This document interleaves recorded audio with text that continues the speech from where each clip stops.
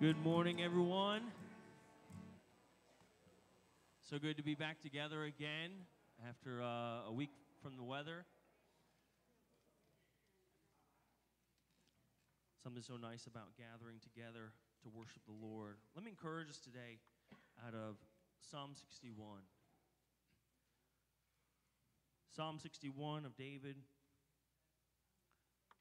Hear my cry, O God. Listen to my prayer. From the end of the earth I call to you when my heart is faint.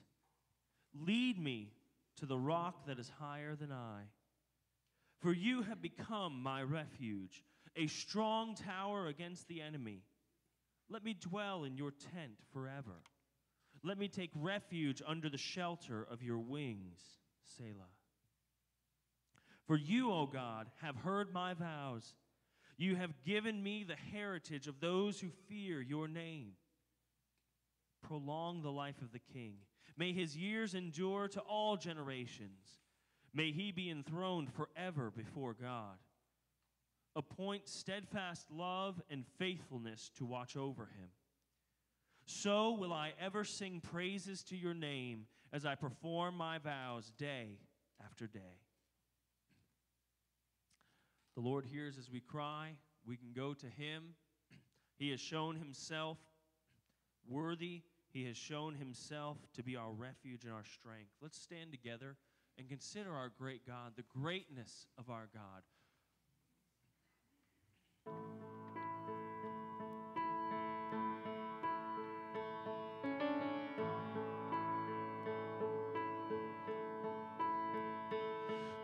the splendor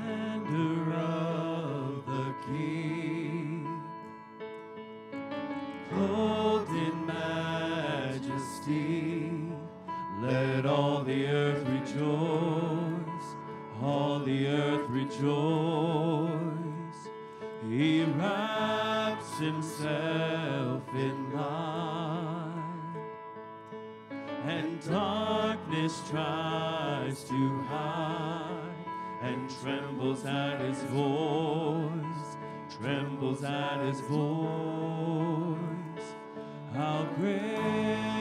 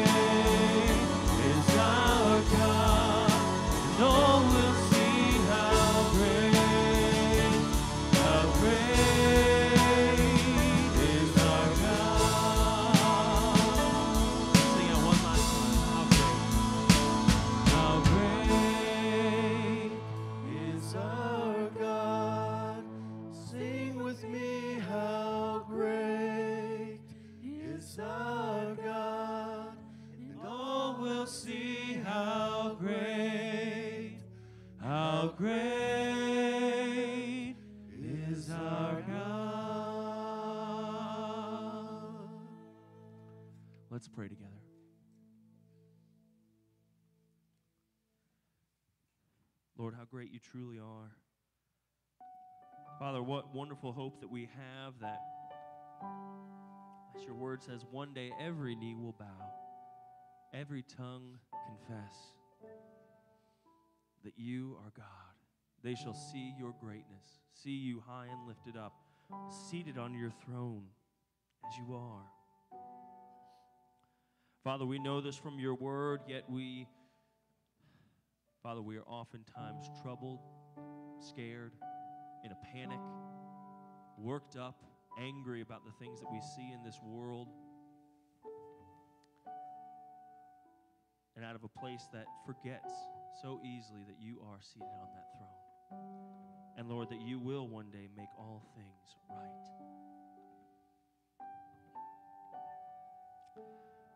Father, as David wrote, Listen to my prayer from the end of the earth. I call to you when my heart is faint. Lead me to the rock that is higher than I, for you have been my refuge. Father, your word is filled with truths like this that you are our refuge, that we can be called up to a safe place, to a higher place. Yet, Lord, we confess there are often times where we do not cry out for that. We do not seek you as refuge. Father, we seek comfort in so many things in this earth. We seek comfort in our favorite foods. We seek comfort in binge watching our favorite show again and again. Lord, we seek comfort in listening to different songs, even songs that don't honor you.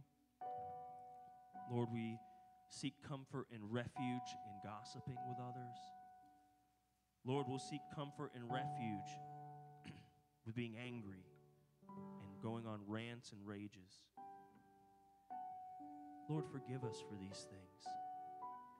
Lord, let our heart's desire truly to be to let us dwell in your tent forever. That we would truly take refuge under the shelter of your wings. God, that we would know that you have heard our vows before you. God, that our desire would be that you, as King, would reign forever and ever. Not just that we know that that would be true, but that we would long for it to be true. Lord, we confess all these things to you this morning. And Lord, we ask your forgiveness. Lord, give us clean hearts that we would be able to ever sing praises to your name. Lord, that we would perform our vows to you day after day. That we would live, Lord, to live in a way that is pleasing to you. Help us, Lord. Remind us of the gospel. In Christ's name we pray. Amen. Amen. Let's continue singing, continue uh, thinking of the Lord what He has done. What a great mystery it is, this as we see the story played out, going through Exodus now and seeing how God has worked His mercy and forgiven sinners such as us.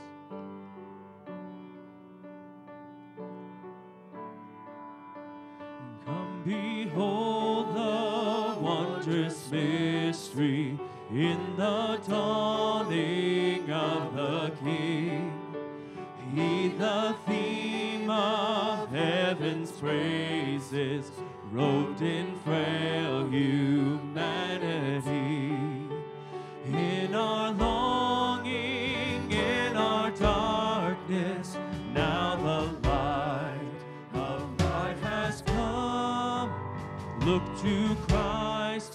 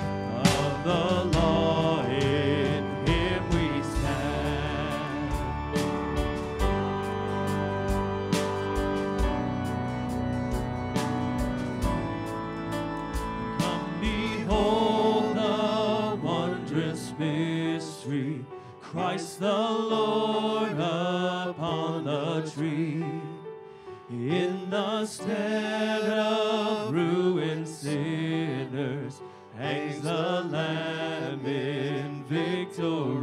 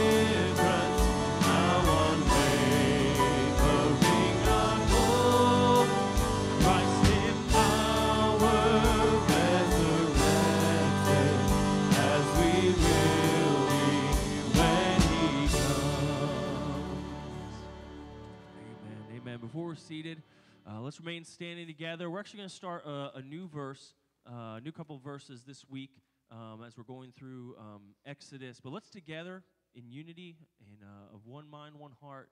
So say this together. Proclaim these words. And the Word became flesh and dwelt among us, and we have seen His glory, glory as of the only Son from the Father, full of grace and truth. For from his fullness we have all received grace upon grace. For the law was given through Moses, grace and truth came through Jesus Christ. No one has ever seen God, the only God who is at the Father's side. He has made him known. Amen. Let's take a seat. Well, good morning, church family. So good to see those of you who are here. Obviously, we have uh, many who are battling sickness or uh, just couldn't come due to uh, the weather conditions. I know some are still trying to get out of their own driveways and all. So uh, I know it's a, a challenge uh, for many, but uh, so good to see you here. I'm sure, probably by the looks of our congregation here, there's probably more of you watching than normal. And so if you are watching on, uh, on video, we, uh, we're just so glad you could be with us. Know that we miss you and look forward to when you can uh, be back with us here in person. But uh, uh, this morning, we will continue our journey through uh, the book of Exodus, and we'll be in Exodus chapter 3 here in just a few moments. But let me ask you this question If you could change one thing about yourself, what would it be? One thing. Now, I, I know that uh, ladies, you know, I hear ladies all the time, you know, they're talking about, well, you know, if they've got curly hair, oh, I wish my hair was straight, or if I had straight hair, oh, I wish it was curly, you know, or maybe you wish it was a different color or what have you. Some of us just wish we had more hair, but hey, we won't talk about that. Uh, others of you, maybe it's an issue of, you know, hey, I wish I was taller than I was, or maybe I wish I was a little bit shorter. You know, I think of Bobby Beecher, you know, at 6'10. You know, the world is not made for guys like that, you know? I mean, you, the cars are not made for guys like that. Airplanes are not made for guys like that. Doors, you know, having to duck, get through the door. Uh, you know, I'm sure there are some days where Bobby probably w- wishes, you know, that uh, I was a little bit shorter than what I was. But, uh, and there are other days I wish, you know, my wife was taller than she was, but so I wouldn't have to be the one reaching up in the cabinet, you know? But hey, that's neither here nor there. But uh, uh, it might be that you wish that you were smarter than you were right? I don't know if too many people wish they were dumber, but uh, you know, uh, we, maybe we all wish we were a little bit smarter. Uh, some of you might wish you had a better back than what you. I don't know who that would be, but uh, Uh, wish you had a better back. It was tough for me. Hey, just, just so you know, it was hard for me uh, when the snow came to not be able to shovel the snow. It, it grieved me deeply to see my family out there shoveling. And uh, I tried not to be too judgmental and, you know, tell them, hey, you missed a spot, you know, but hey, you know, it, it is what it is. But, uh, uh, you know, there's a lot of things that we might wish that we could change uh, about ourselves. But here's, here's the, the beauty of what we'll see even in uh, Exodus chapter 3 is how God will use imperfect vessels to do incredible work, uh, God, godly work in and through uh, people who are fallible, who are fallen, who are imperfect in so many ways. And so we are going to uh, rejoice, hopefully, as we see God working through the man Moses, uh, even though obviously he is a man that has been esteemed throughout uh, the millennia here. Uh, just uh, he is the figure, one of the main figures. He is on the Mount Rushmore, if you will, of, of not only the uh, Israelite, the Jewish faith, but, but for Christians as well. But yet, as we saw a couple of weeks ago, he's a murderer. Who gets on Mount Rushmore being a murderer, right? And so, what a reminder to us of the grace of God, how He takes imperfect vessels, however flawed we are, but yet He just desires hearts that are humble, that are teachable, that are moldable, and are ready to submit to His will. And so we're going to see that played out in Moses' life here in just a few moments. But uh, as, we, uh, as we continue, obviously, uh, as I said, I'm sure there's a lot of sickness going on. Do want to ask specifically that you be praying for uh, a sister, uh, uh, Sandy Lacey, who is in the hospital battling COVID pneumonia and uh, just really uh, struggling there. And we just want to lift her up uh, during this time. And I know there are others. I know many of you had sickness of various kinds, and praise God, you're back.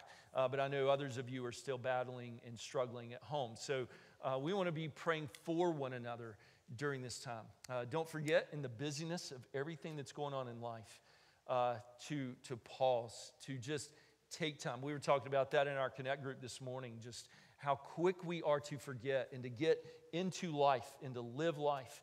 And we want to make sure that we are taking time to, to connect with God, but to pray for one another. And so that's what I want to do for you this morning uh, is take time to pray over you. And let me do that right now. So, God, as we gather before you right now, thank you for, uh, God, just this, um, this privilege of, of being together physically. Thank you for the privilege of even crutch to where we uh, become lazy, apathetic, and think, well, I think I'll just stay at home today and I can just watch it online. God, we want that online presence to be there for those who genuinely cannot be here, whether it's sickness, uh, just other, other needs that, that can't be helped. But Lord, may it never be a crutch that we, we lean upon and come to and that would keep us away from one another. So, God, it is as we gather, we are reminded of just how glorious it is to see your, your Holy Spirit at work in and amongst us as we interact with each other, as we see each other in person, eyeball to eyeball, as we talk, as we share uh, just victories together, as we share struggles together. God, it makes us uh, more the body of Christ uh, when we are able to just share life together and to know what's going on and to encourage each other.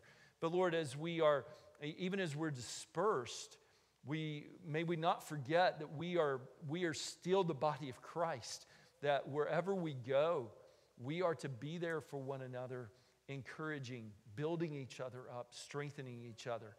And so, God, as we get ready to uh, look at Exodus 3 here this morning, and God, there is, there is so much for us to glean and learn and grow from. I pray, God, that as we uh, encounter you in this passage, May it cause us, God, to worship you at a deeper level. God, may it bring conviction about how we have, have that tendency to forget just how holy you are. May it remind us of, of who we are. As, as Moses is even going to ask that question, Who am I? And he is going to ask the question, Who are you? God, even though in those two questions there, those are kind of foundational questions that should lead us into deeper worship of you. And so, God, I pray that even though there is much that we would desire to change about ourselves, maybe it's physically and other ways, God, may our heart's desire be, oh God, I want to change from within. I want to become more like Christ.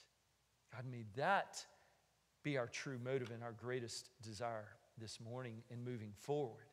And so, Lord, thank you for this gathering that we can come and, and be reminded that we, we tend to, to fade and, and stray. And God, this morning it is a time for us to uh, kind of come back to center and to reboot and be reminded once again of what life is really about. And it is as much as, yes, it is about us and how we're living our lives, God, it is more about you and making much of you.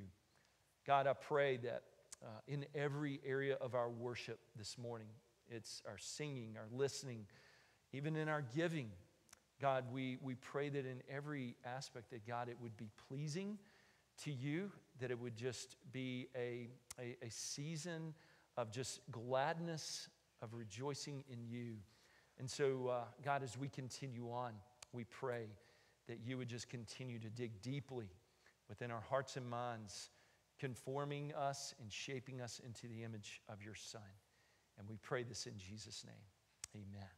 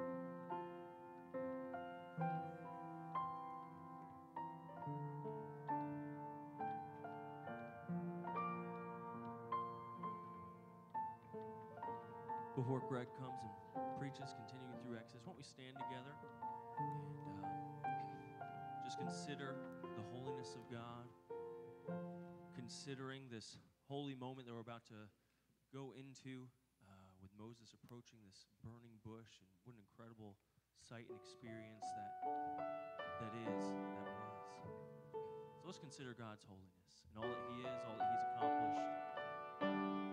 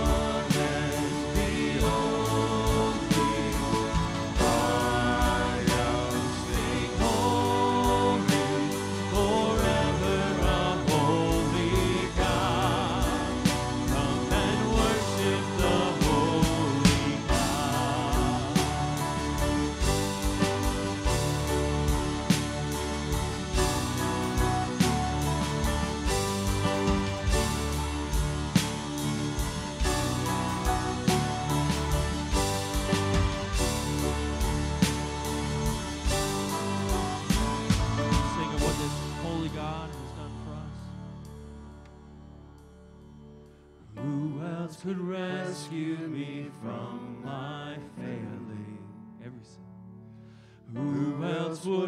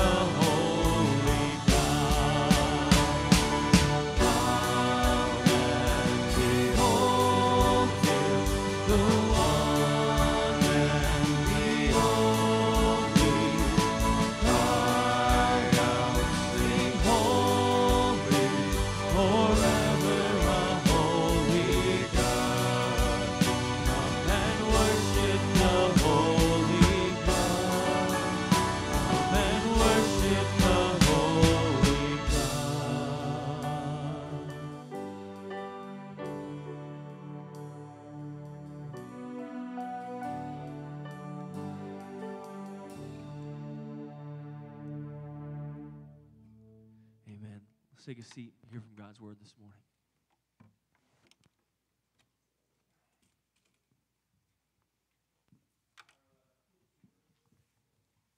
Chip, you all are dismissed. Sorry, help to turn that on.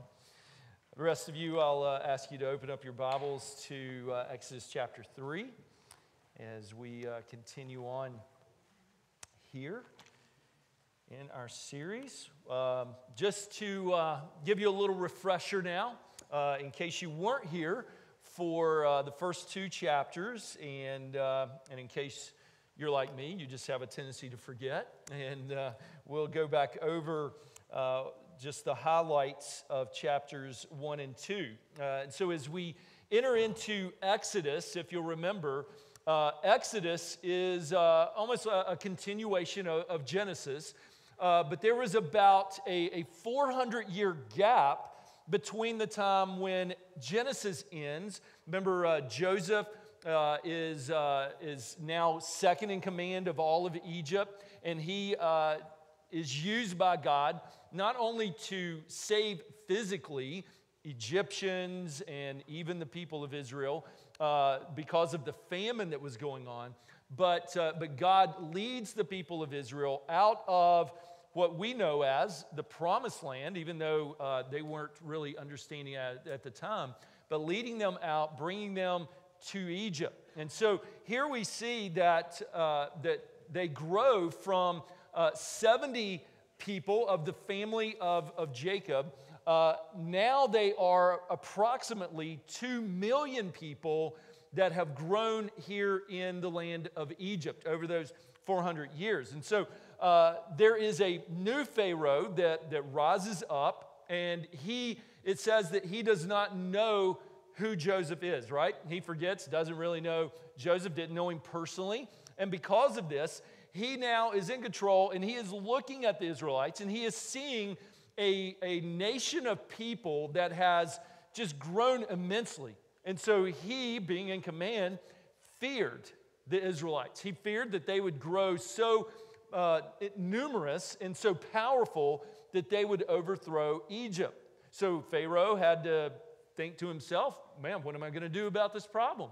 And so he uh, does uh, a couple of things. One, he enslaves them, he, he puts them in slavery, uh, just cruel, brutal, uh, harsh slavery, and uh, they are just dominating them. He believes that, hey, if I can just work them so hard, then they'll just be too hard to reproduce. They'll just fail to, to continue to grow. But we see in God's word that uh, that backfired on him that uh, even the harder that the labor was, the more that the people of Israel grew.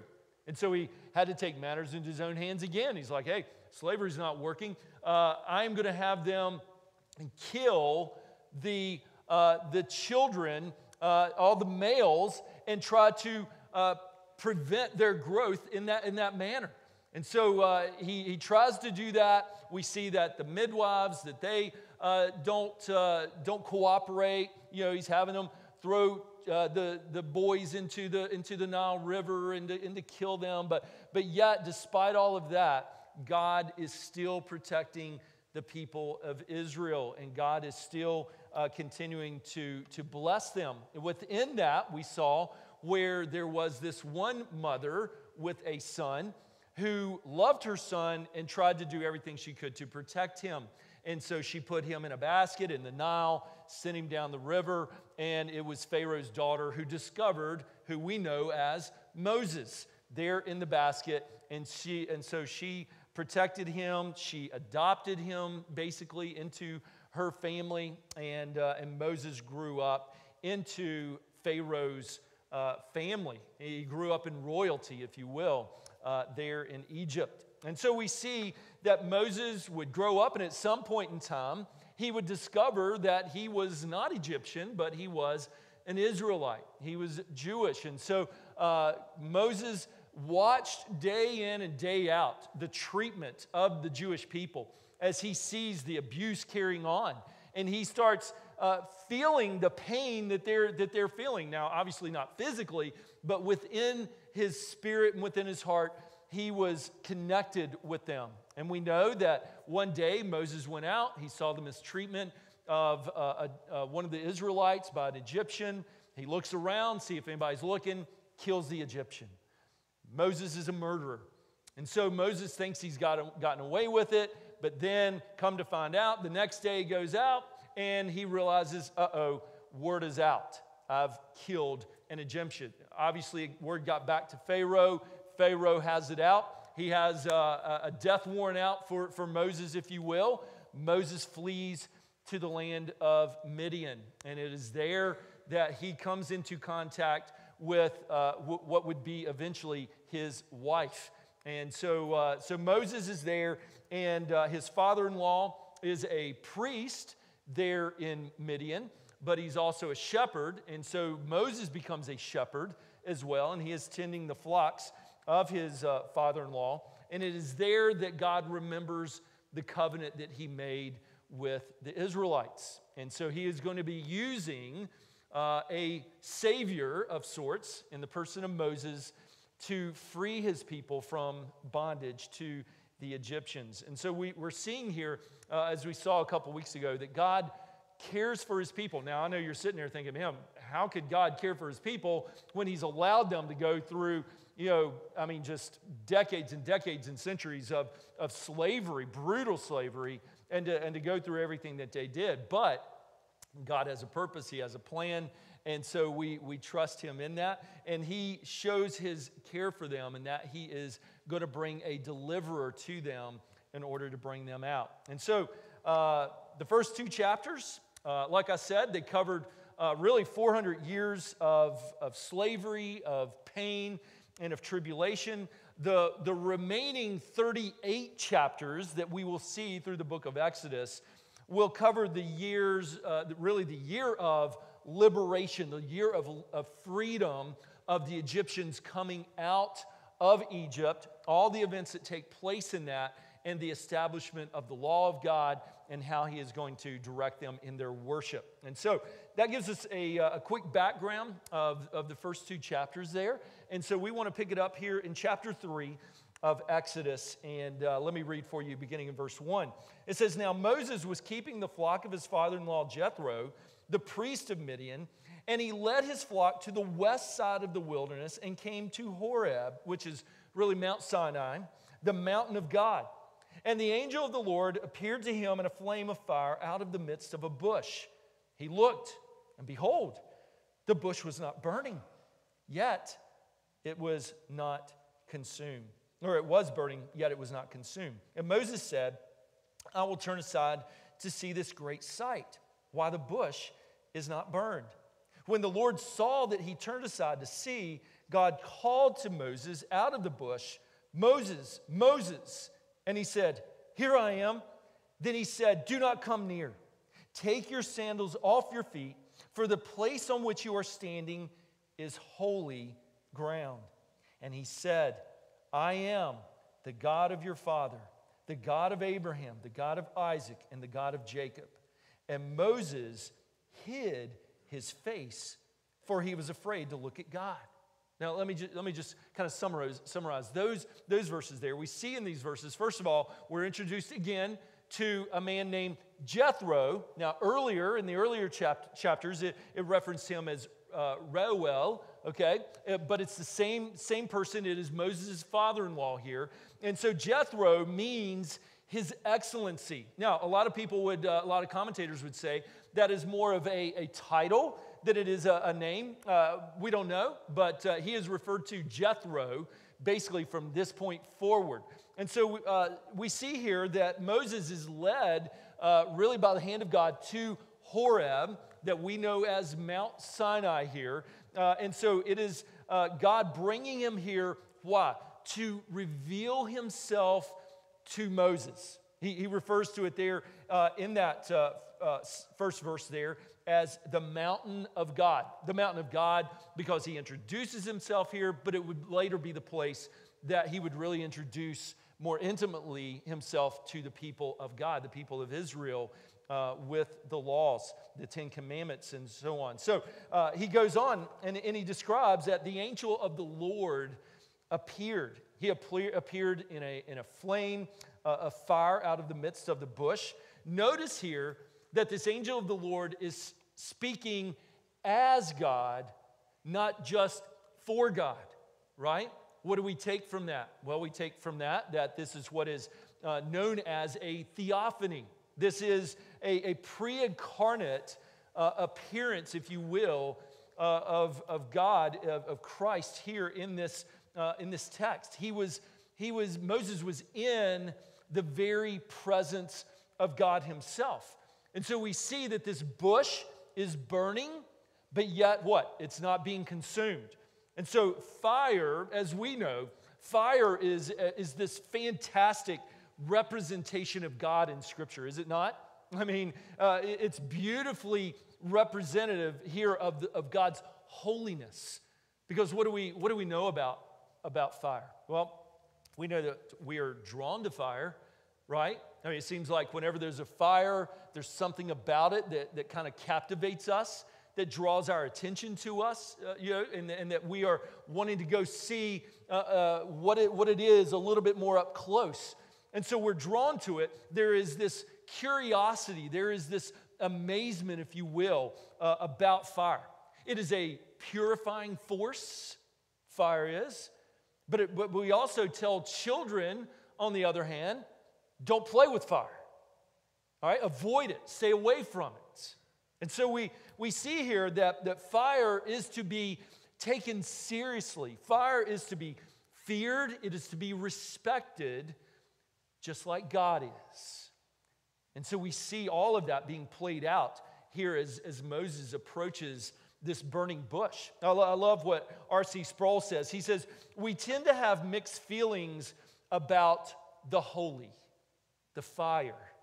There is a sense in which we are at the same time attracted to it and repulsed by it. Something draws us toward it, while at the same time we want to run away from it.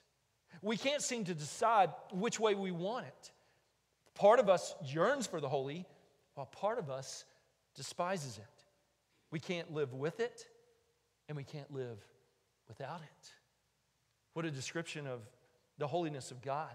The fact is, and the fact is that what was, what was not being consumed demonstrates that, that God has this never ending power. So, as this bush is burning, this fire is, is there representing the holiness of God, but yet it is showing as well just how He is all powerful and His power never, never ends. God is completely uh, self existent, He is also self sustaining and self sufficient in Himself. And so, God calls Moses by name, showing both an intimacy there, that he would know Moses, but it's also showing uh, that, that God is, is all knowing himself. And he, he knows everything about you and I just as much as he knew about Moses himself. And so he calls Moses by name. And we're reminded uh, of Psalm 139 when the psalmist wrote, he said, My frame was not hidden from you when I was being made in secret, intricately woven in the depths of the earth. Your eyes saw my unformed substance. In your book were written, every one of them, the days that were formed for me, when as yet there was none of them. This is what God knew of Moses. That's what he knows of us. That's why we celebrate the sanctity of human life uh, this month as, as Southern Baptists. That's why there was a March for Life uh, in D.C. Uh, those who understand that life is precious. Life is something that God gives, regardless of the circumstances of how conception came. Every life is important to God. No life is an accident. Every life has a purpose, has meaning, and we are to protect it. And so, God, He didn't have to call Moses, and He doesn't have to call any of us, right? But yet, in His mercy, He did that very thing. And that's what it was. It was mercy He was extending not only to Moses, he was extending mercy to the people of Israel, and he extends mercy to every one of us. He desires what? To be known and to be worshiped. That is the God of Scripture. He desires for us to know him, and he desires for us to worship him. And so he says that Moses, take off your sandals. Why? Because you're on holy ground. It's the first time in the Bible that, the, that Scripture references and uses the word holy in description of, of God. Holy means to be separate, it means to be, uh, tra- God is transcendent, He is otherworldly. All right, He is unlike us in any way. It is to be set apart. And so, God's command to not come closer only stresses the great gap that stands between us and God. We live in a world where most people talk about God as if he's, he's their, their best friend, he's a buddy, right? He, they, they kind of bring God down to their own level, thinking that God, uh, God's some cool dude, you know, and, and he, you know, they, they try to make him into this, this buddy where, hey, we can have fun together, and the things that I do wrong, he just kind of winks at and says, okay, just try not to do that again. That's the God that has been created within culture. But yet, God is showing us here oh, He is so much more than that. He is a God that is stressing the great gap between ourselves and Himself. And so, the only way for us to come into the presence of, the, of a holy God is for us to be holy ourselves. Now, I don't know about you, that's already stressing a huge problem, right? That there is uh, a, a huge gap between His holiness and our holiness because we are the furthest thing from being holy. And so we have a, an incredible problem here as we think about that. But, but Hebrews ch- chapter 10, verses 21 and 22 says this it says, Since we have a great high priest over the house of God, let us draw near with a true heart in full assurance of faith, with our hearts sprinkled clean from an evil conscience and our bodies washed with pure water. And so we see that it is this holy God who will eventually bring a holy cure to that dilemma that we face. And then he says so beautifully there in chapter in verse 6 he says after he, after he says hey take your sandals off you're on holy ground and then god tells him who he is he says i am the god of, of your father the god of abraham the god of isaac and the god of jacob and so we see here that god didn't say i was the god of abraham i was the god of isaac i was the God of Jacob. He didn't say that, did he? He said, I am that God. Probably this truth was, was taught by, by Jethro to Moses, and, and he was probably uh, reminded once again of the history, even though he grew, grew up in Pharaoh's royal household. It was here, probably in these years, that, that Moses was revealed, it was revealed to Moses by probably his father in law Jethro the, the history of his family. He probably told him all about Abraham, told him all about Isaac, told him all about Jacob, but more importantly, he told him about the God of Abraham, Isaac, and Jacob. But how beautiful it is that in saying that, he says that I am the God of Abraham, Isaac, and Jacob. He is stressing that they are still alive. Did you get that?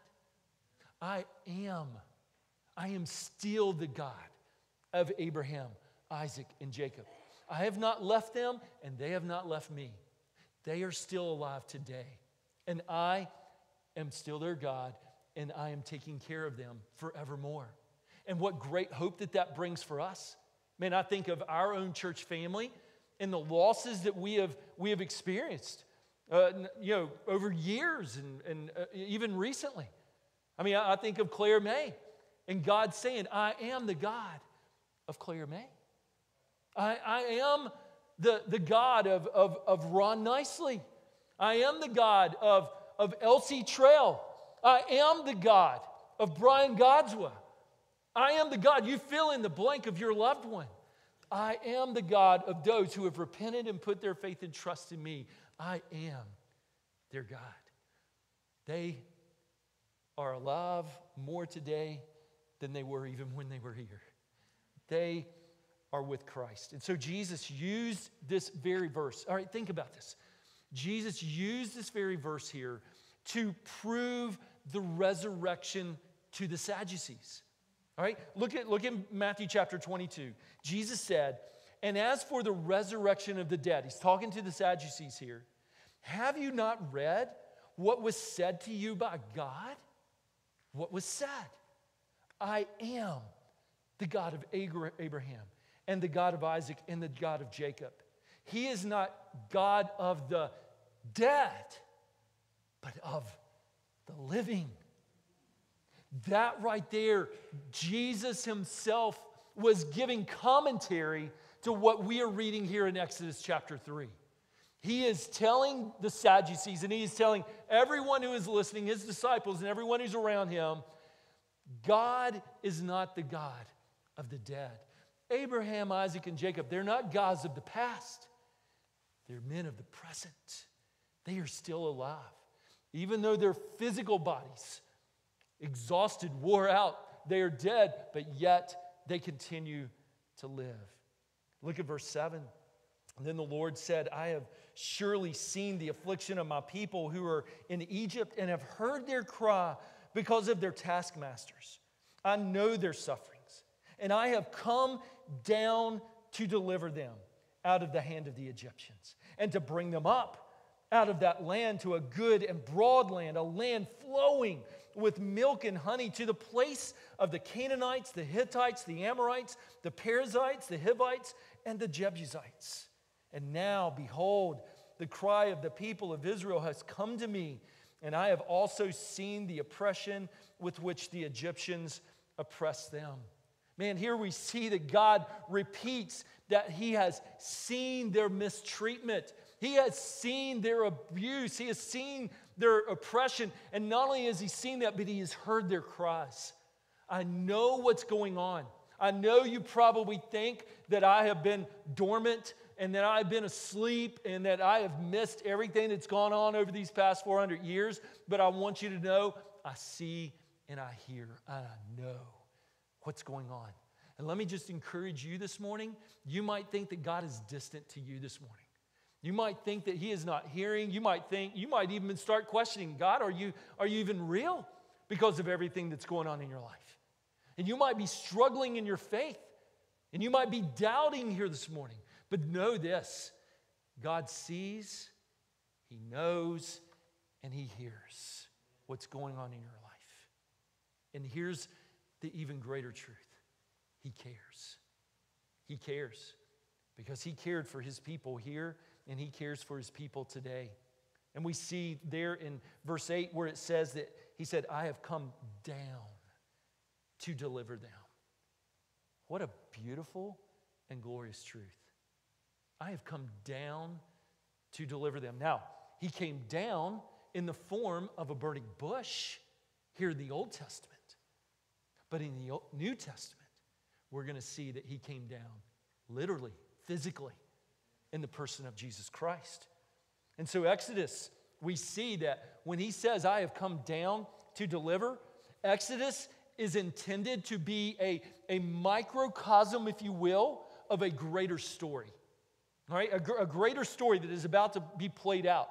God deeply cared about Israel in their physical slavery, in their physical bondage, but this was always meant to point to the greater bondage that we all face and all deal with.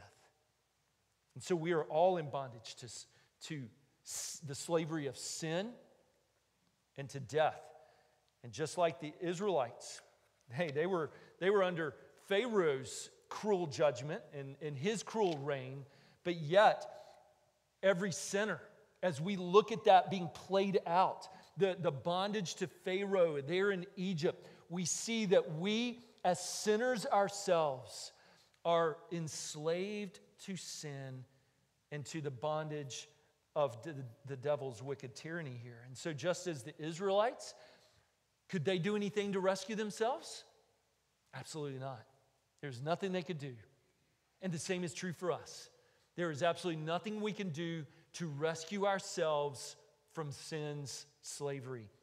But our heavenly avenger, oh, he's come to deliver us from slavery to sin and lead us to the promised land to worship him forevermore. He continues in verse 10 Come, I will send you to Pharaoh that you may bring my people, the children of Israel, out of Egypt.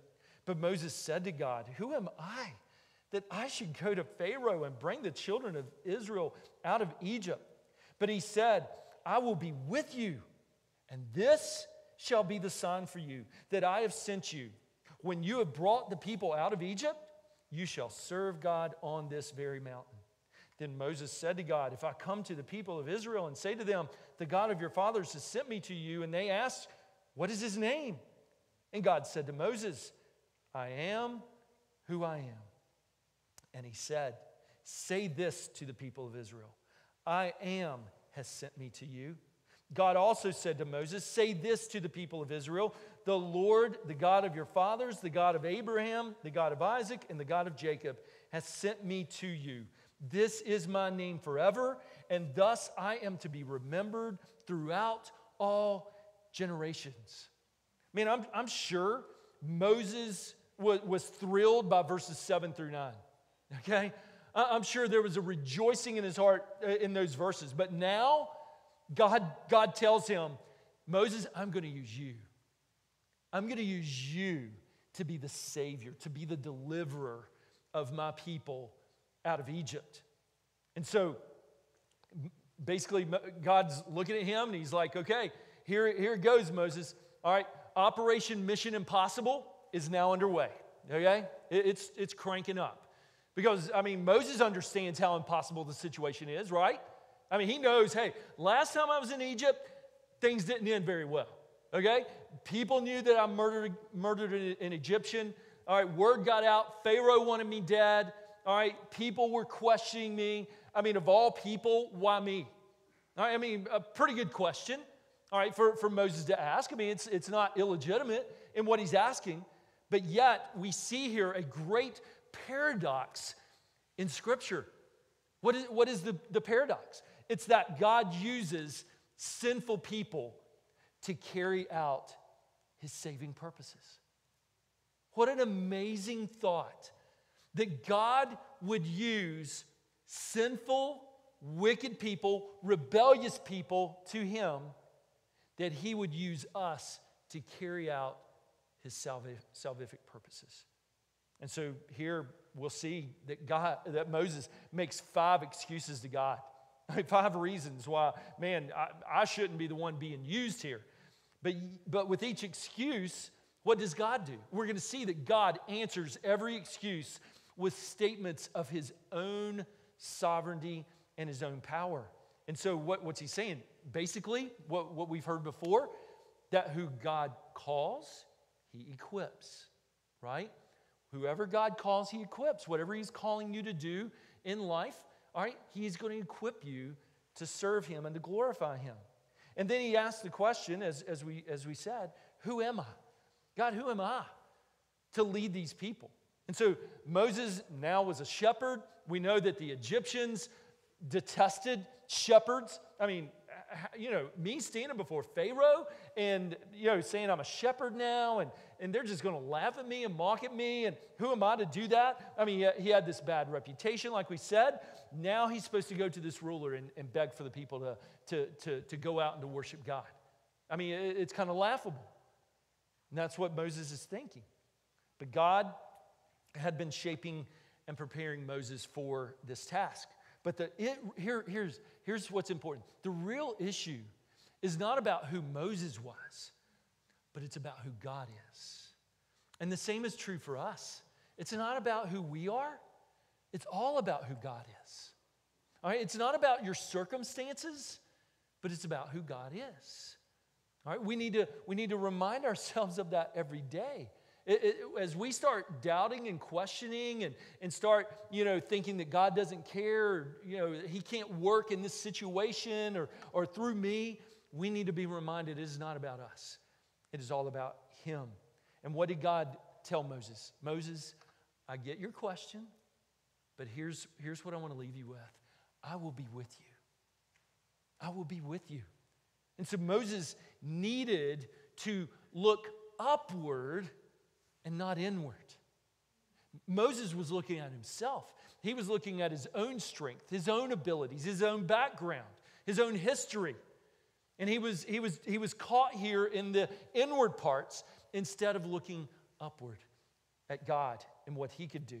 And so the Exodus was not dependent upon the ability of Moses, right? It wasn't dependent upon him, but it was regardless of Moses, the Exodus would come. And so it's always been about the power of God. And so, God, again, God doesn't need your ability to serve Him, He just wants your availability to submit to Him. Okay? He doesn't need your powers, your abilities in any way. In fact, despite those or the lack of those, God will work through you. Matthew 28 20 reminds us, and behold, I am with you always to the end of the earth. God is with us, He will guide us. Philippians 2 reminds us work out your own salvation with fear and trembling, for it is God who works in you, both to will and to work for His good pleasure. It is not about us. It's not about our abilities. Even if you think that you have something to offer to God, you don't. Okay? Even if you're incredibly smart, Even if you're incredibly powerful, you're incredibly fit physically, uh, all right, you've got all types of gifts and abilities and all. God doesn't care. And God will use you despite what you think you have to offer Him. But He wants to bring us to a place of humility, of teachability, and realizing that it's through Him and Him alone that we can be used. And so here's, here's the sign that God gave him. All right? Here's the sign, Moses, that, that I will give you, that I will bring the children out of Israel. What was the sign? He said, You'll worship me on this mountain. This mountain that I'm meeting you on, you will return here, and the people of Israel as a nation will worship me here. Now, I don't know about you, that seems a little strange as a sign, right? I mean, when we think sign, okay, God, I want you to do one of the miracles that you, know, you can do. That's a sign. But what's the sign that he gave? It's something that would happen in the future. So, what's that mean? It means that Moses was going to have to walk by faith and not by sight. The sign I'm going to give you, Moses, really isn't a sign right now. But one of these days, you will return to this mountain with the people of Israel, and it's at that moment you're going to realize God is exactly who He said He was. He is going to do the unexplainable. And so Moses went on, he asked, God, who are you? Okay, who, who, who are you? All right, I'm going to go back to the Israelites and I'm going to tell them, all right, the God of your fathers, you know, he, he sent me here to, to lead you all out of slavery. And they're going to want to know what's your name? And how do you answer? He says, I am who I am.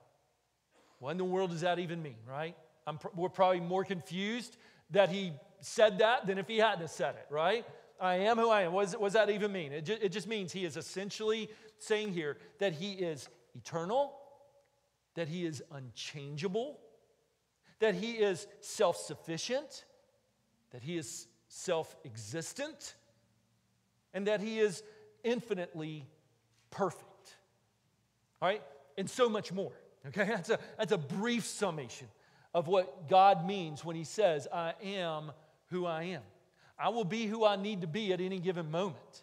All right? I am I am so transcendent. I am so otherworldly. I am so outside of your understanding of, of who God is. That's who I am. All right? Let your mind just go and wander. I am far past that. And so he is trying to encourage Moses and the, and the people here. And so uh, now we could spend a lot of time trying to figure out exactly what this name means. Okay, we could go into all the studies that you know commentators and theologians have done trying to study what that name means. He, he says in verse 15, he says, uh, God said to Moses, Say to this to the people of Israel, the Lord, the God of your fathers. All right, the word Lord there is, is the word we understand is Yahweh, all right, the covenant keeping name of God. But why don't we just jump ahead to the New Testament for clarity? Okay? Let's let, let's let Jesus himself clarify this for us in John 8 58. He says, Truly, truly, I say to you, before Abraham was, I am. Open and shut. We now know who the I am is. It's Jesus. It is the Godhead, the Trinity, the Father, Son, and Holy Spirit. We understand who he was. And so Jesus was claiming to be the God of Moses. Right? That's who he's saying. I am the God of Moses. And so the religious leaders, they understood what Jesus was saying. I mean, have you ever heard people say, well, Jesus never said that he was God? He never claimed to be God, right? I mean, just how ignorant. I mean, I, I don't know what else to say. All right, that's just utterly ignorant because the religious leaders in, there, in that day, they knew exactly what Jesus meant. How do we know that? Because what was their reaction? They wanted to stone him, right? They were saying, blasphemy. This is one who is claiming to be God, and he must be stoned. And so Jesus made it very clear who he was. And so, a genuine Christian, get this, a genuine Christian is someone who believes that Jesus is the great I am. As followers of Christ, we understand this is Christ pictured here in the Old Testament. And then he continues on in verse 16 Go and gather the elders of Israel together and say to them, The Lord, the God of your fathers, the God of Abraham, of Isaac, and of Jacob, has appeared to me, saying, I have observed you and what, is, what has been done to you in Egypt. And I promise that I will bring up out of the affliction of Egypt to the land of the Canaanites, the Hittites, the Amorites, the Perizzites, the Hivites, and the per- uh, Jebusites, a land flowing with milk and honey. He is stressing this land is occupied. That is a lot of people that are occupying the land right now. Talk about faith. How, how are we going to get rid of them and occupy this for ourselves? Verse 18, and they will listen to your voice, the elders, and you will and you and the elders of Israel shall go to the king of, of, Egypt and say to him, The Lord, the God of the Hebrews, has met with us, and now please let us go a three days' journey into the wilderness that we may sacrifice to the Lord our God.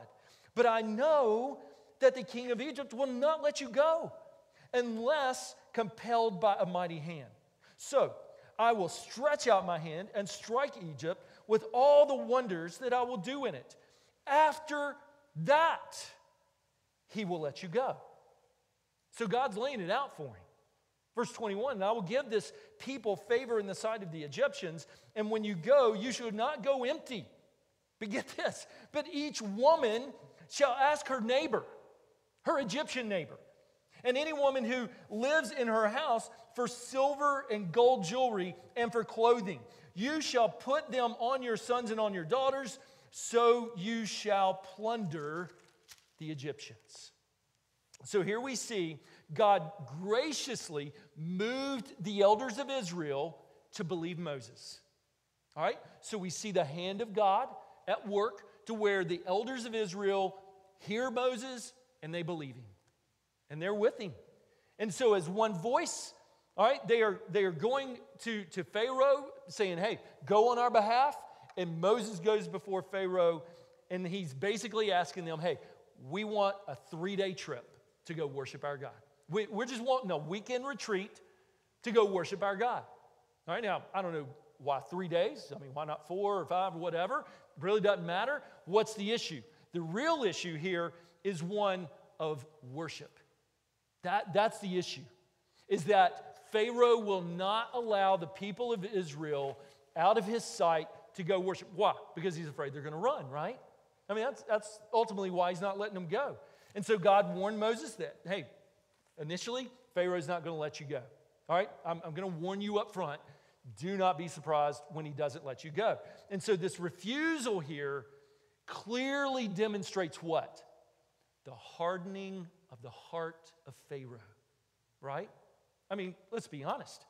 He had no, no fear of the true God. I mean, they worship multiple gods. In fact, he claimed to be a God. All right? And so he had no fear of the true God. And so it was basically when Pharaoh was saying, No, you cannot go, it was like him saying, Okay, God of Israel, bring it on. I dare you. I am God. I have power over these people. I am the one holding them in slavery. Where have you been for 400 years? Bring it on. You, you think you worship some God out there? cry out to him. Go ahead, but you're going to do it here under my thumb, under my rule. And so we see here that that would ultimately come back to bite him, right? But yet we see in verse 22, notice how God blesses. He blesses the Israelite women and their families with what? With a shopping spree. Okay? How awesome is that, ladies? All right? He, he blesses them with a shopping spree. They go to the Egyptians and they ask them for their silver and their gold. All right? Ask them. And, and what happens? They give it to them. They give it to them.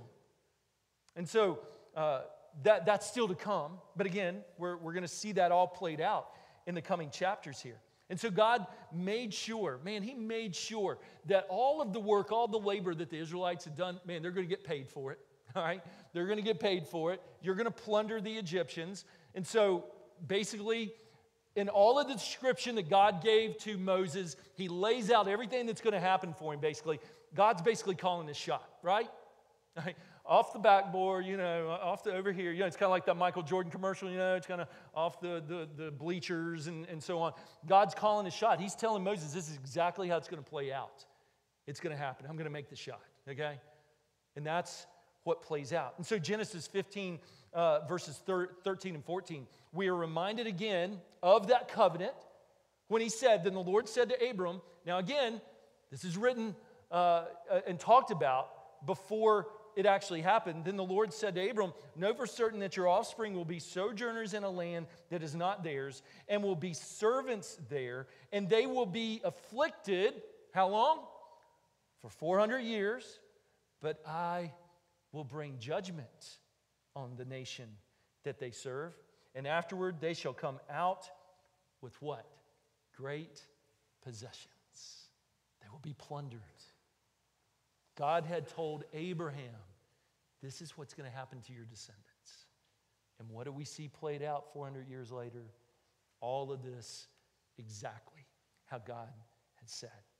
And so, ironically, all of those metals that they would accumulate would eventually be used in the building of the tabernacle and all that was laid out in it. And so, when Christ liberates his people, he lavishes his gifts upon them, right?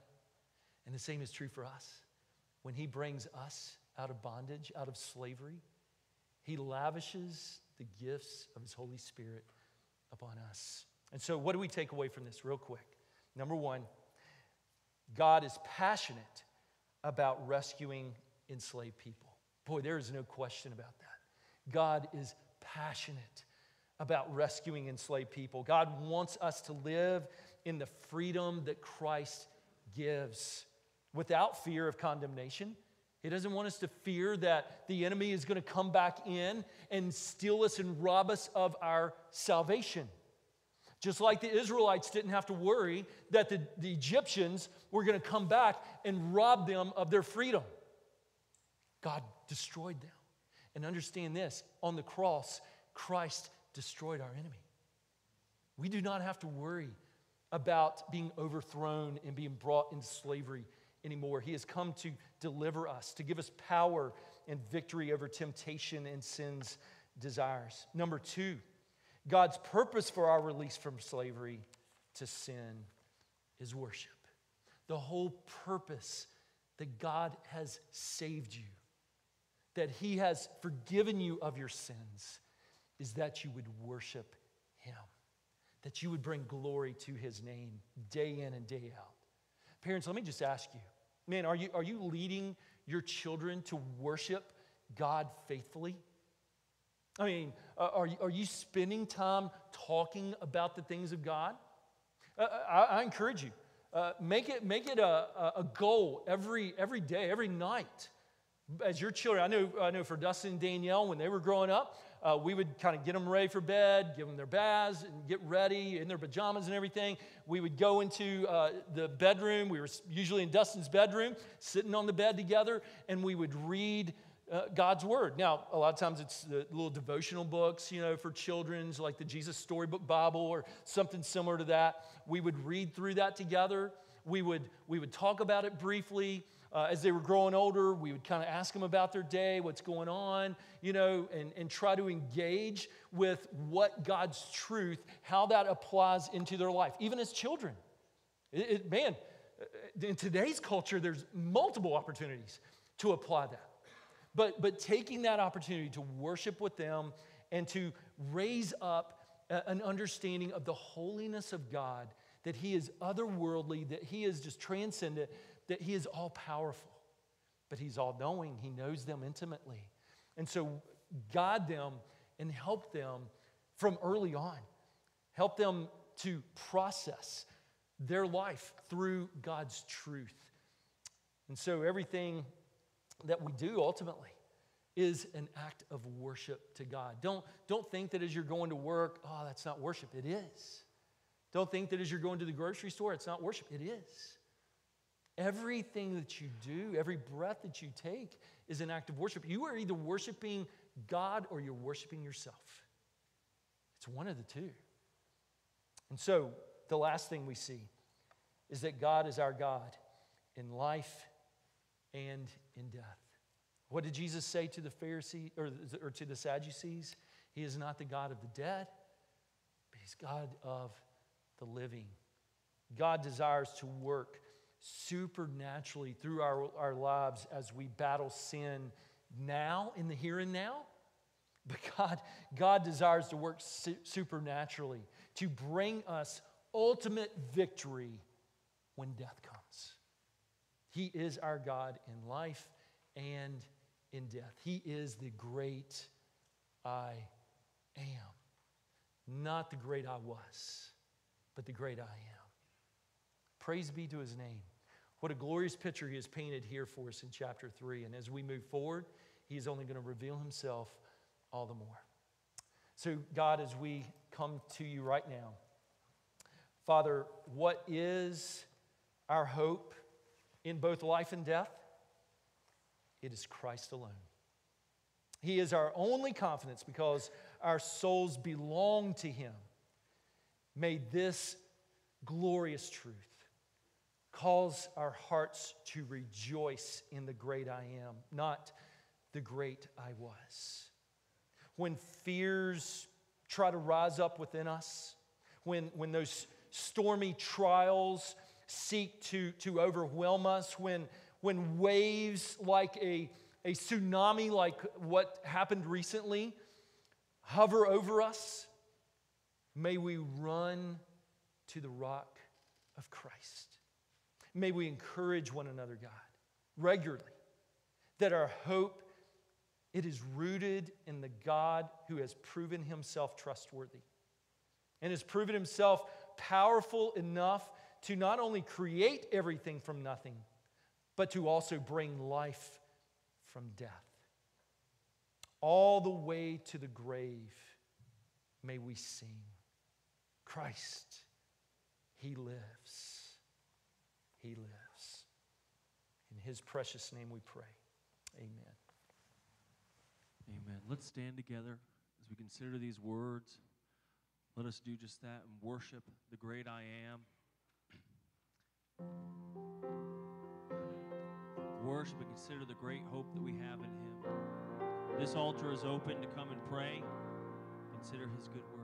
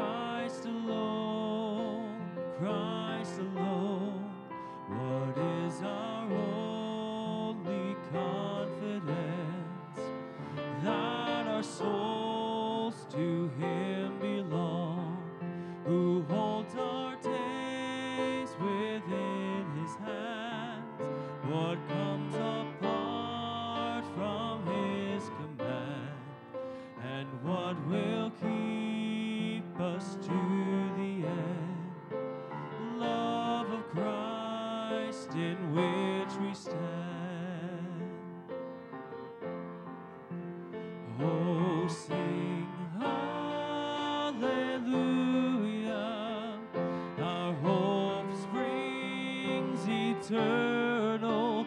Oh, sing hallelujah.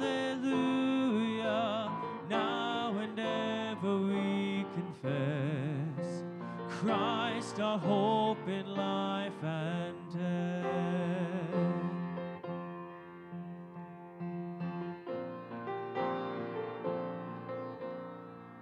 What truth can calm the troubled soul? Is good, God is good. Where is His grace and goodness known? In our great Redeemer's blood, who holds our faith when fears arise, who stands above the stormy trial, who sends waves that bring us nigh unto the shore, the rock of Christ. Oh, sing hallelujah, our hope springs eternal. Oh, sing hallelujah,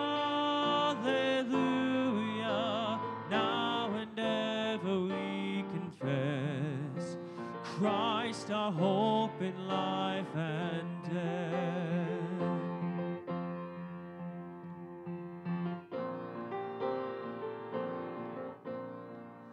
Unto the grave, what will we sing?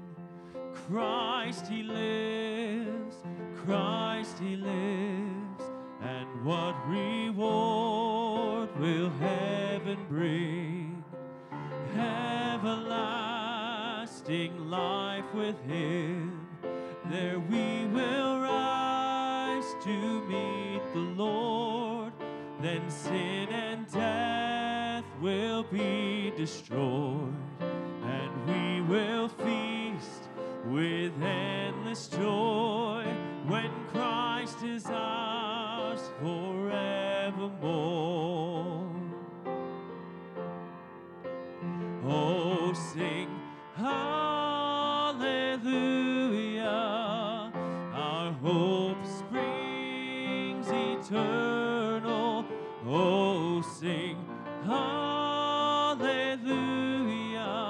Now and ever we confess Christ our hope in life and death. Oh, sing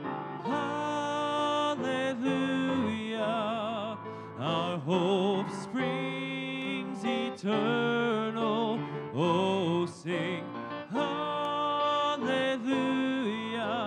Now and ever we confess Christ our hope in life and death. Now and ever we confess Christ our hope in life and I'm going to ask you to be seated just for a quick second here. Uh, do want to make you uh, mindful that tonight we will be uh, continuing our transform uh, classes that we have, and uh, those start at six o'clock. Uh, we've got three different classes for you to choose from. So, uh, love for you to come back and be a part of those. They are going to be a rich blessing for you. Also, tomorrow night, Moms in Prayer meet. And so, ladies, encourage you to come out, enjoy some time in prayer and fellowship together, praying for our, our children, uh, for the schools, just those uh, administrators and all in charge. Obviously, these are days, crucial days, a lot going on. Uh, within our, our schools. And so we just want to pray encouragement for Christian teachers, uh, for uh, students who are followers of Christ, as, uh, as, hey, darkness is out there, but yet may they shine the light of the gospel brightly uh, in our school systems. Uh, also, our baby bottle campaign continues on.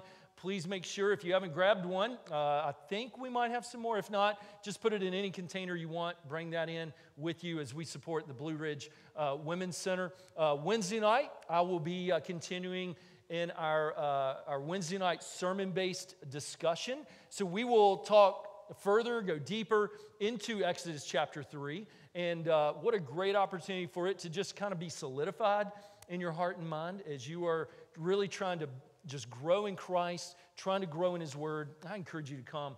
Uh, we just have a great time with that. And uh, I think, uh, is that most everything? Okay. Uh, I do want to uh, just uh, bring before you Lily Bishop. I think she's here. There she is. Yeah. couldn't find you there. But Lily is coming this morning. Lily is coming to, to be presented to you for full membership, uh, Lily uh, just, uh, well, it's been a little while now with COVID, but uh, turned 18. She uh, went through our Getting to Know Green Ridge class. And, uh, and so we as pastors are excited about bringing her. just again, in case you didn't know, when you're younger than 18, you're a member, but yet it's kind of restricted in that you can't vote yet when we vote and, uh, and serve on key committees. But now in adulthood, those things, uh, those privileges start opening up. And so we're excited. It's been a joy uh, just watching Lily grow into a young woman of God and now in college and serving the Lord there. So, uh, so your pastors are bringing her, her to you uh, as, uh, as a full member, and we want you to affirm her in that. And if you affirm her, say, Praise the Lord. Amen. Praise God. We're excited about what God's doing in your life and looking forward to her continuing to grow in Christ. And we want to do all we can to continue to pour into your life and looking forward to you pouring into us in return. Amen. All right. Well, uh, I'm going to ask you to stand.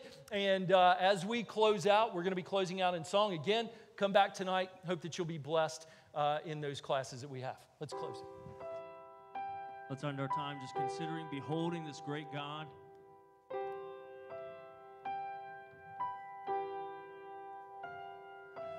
Who has Who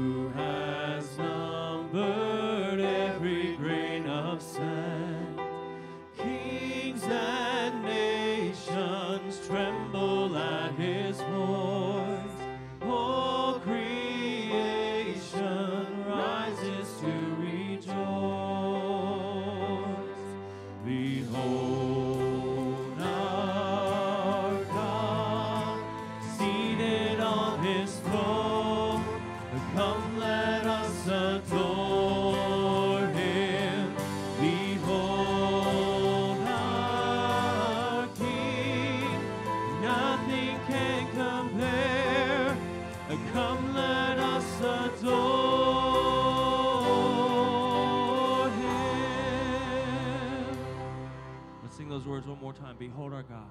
Behold